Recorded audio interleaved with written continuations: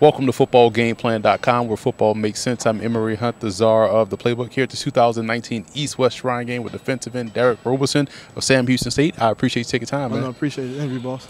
Here's what I like about what you bring to the table. Yes, sir. Ball get off, hustle. You can't coach those. Mm. You can teach everything else. Those two things you can't coach. Right.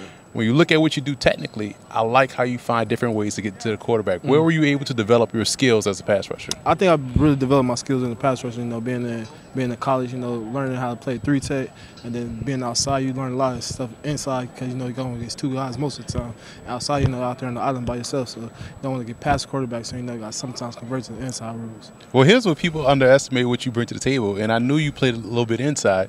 People don't think you can stop the run Yeah. because you played inside. Doesn't that give you an advantage on playing outside for setting the edge and then also stopping? Oh yeah, especially you know getting double teamed a lot inside. If one not coming at you, you best believe another one coming at you. So yes. When you look at the Southland Conference, Mm-hmm. everybody throws football. It's a wild, wild west. It's like the Pac-12 of the Mm-hmm. FCS. Does that help you out as far as being able to get a lot of reps as far as rushing the passes, even going up against your own offense? Oh yeah, it helped me a lot, especially because you know if they if they passing the ball, that's my game. So if they passing the ball 30, 30 40 times a, a game, well, I'm going after it. Let's talk about Sam Houston a little bit. Mm-hmm. How has the Bearcat program helped you develop your game and make you into a pro prospect? Uh, man, they they helped me develop my game a lot, especially my senior year. You know, my defensive line coach really worked on me, helped me get my fundamentals down, worked on my pass rush, run game, and then I just transferred to have a breakout season this year. Now you know we have uh, PJ Hall already in the league, Mm-hmm. and now you're going to be in the league. Is it safe to say you guys deep uh, D line you yet, or no? Uh, you know, we got a couple dudes at D line. You know, we might be D line you, but we gotta see what they do next year. See who's gonna come out next. What's one thing about your game you want everybody to, to understand, to know, and and also,